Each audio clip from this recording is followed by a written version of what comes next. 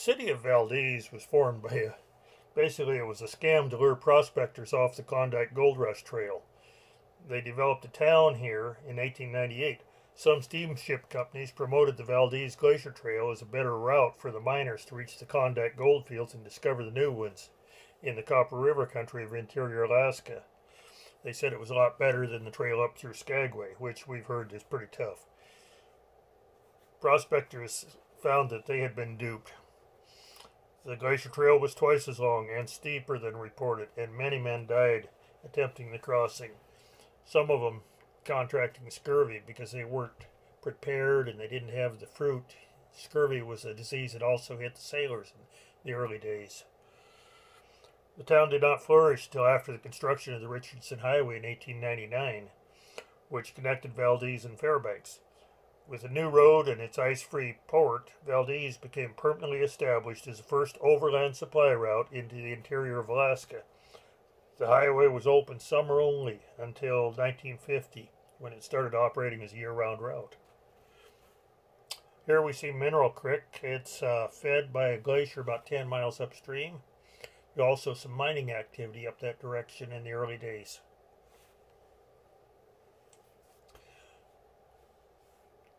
Pretty cool country.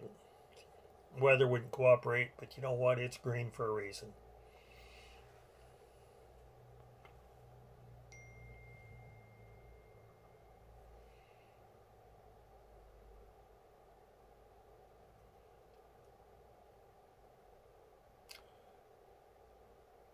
Fog and the mist just adds to the pictures. Now we turn the page and we're looking at part of the larger fishing fleet that operates out of Valdez. We see trawlers, we see netters, and lots of charter boats. Look at the color of the water. Yeah, that's real.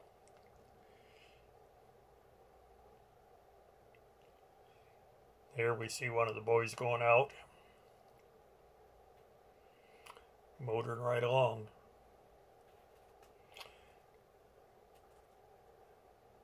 Out over there in the background, we see some of the fish processing plants. Some of the fish on your table probably comes from up here. Then we start to see the town of Valdez, motels and the inner harbor in the background. Yeah, rain wouldn't let up. It just, this was taken in the evening, and truthfully, it was probably 10, 10.30 at night. And I came back in the morning and actually got a little bit clearer skies, but still raining on me.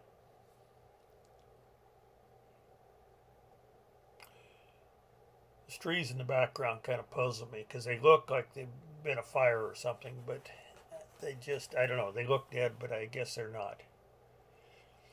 As we scan over here to the right, over in the background, we see the where the cruise ships come in, and there's also some uh, grain export goes on here, and container export. Here's a little better look at it. You can see the cruise ship sitting there. See a ship or two out there. I don't know if they're waiting for a load or if they're coming in and dumping a load. Who knows? They say more goes up than comes down, except the tourist, and that's that's a constant stream in the summer. Here's a closer look at the inner harbor and all the boats in there. If you're going to live in Valdez, I guess you have to have a boat.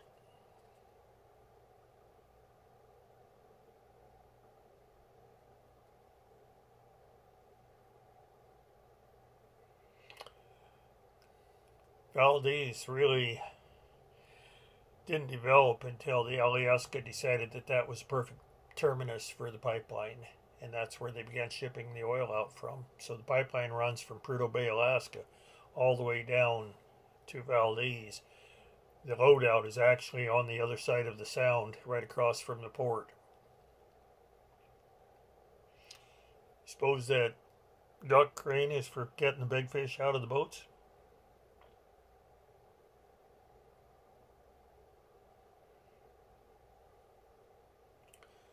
Once again, processing plants in the background and storage.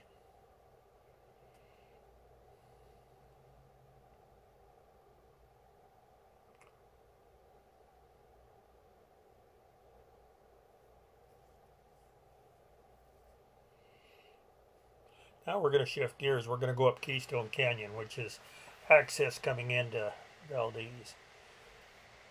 This one here is was Horsetail Falls, and up in the background there you see Bridal Veil Falls.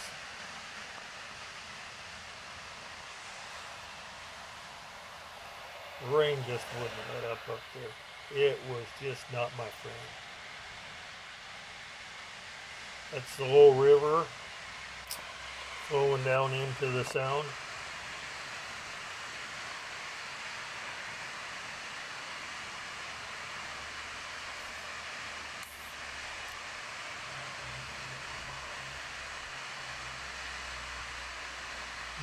While I was here filming this, uh, two Mennonite couples showed up.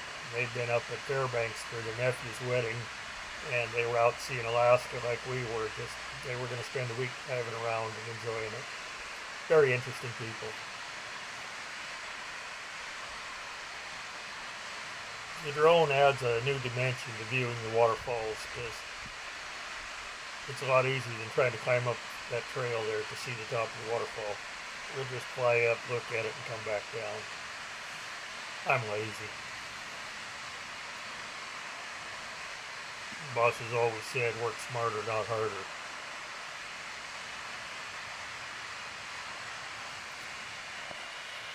You see the strata, now everything's kind of on a tilt there.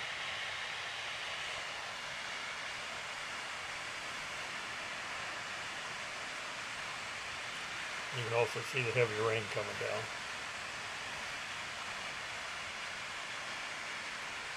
We know it's clear, clean water. No problem there.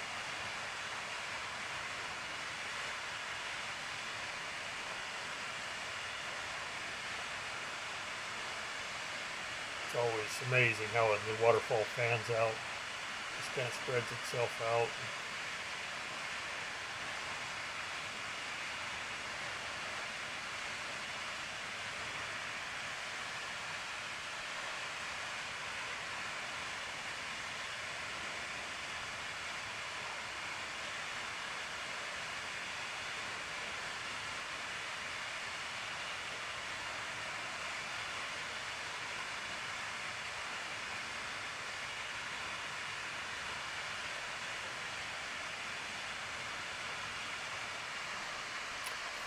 Here's the foot of Bridal Veil. We'll go up Bridal Veil and look at it. Don't remember what the name of the waterfall on the right was, but it's it's basically a permanent one also. There's dozens of waterfalls in the spring that just litter the hillsides as the water finds its way down to the river.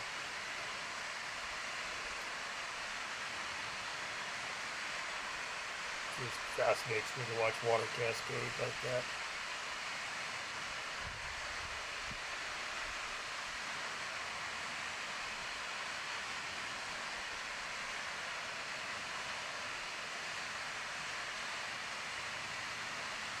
Well, I hope that you've enjoyed this as much as I have being there.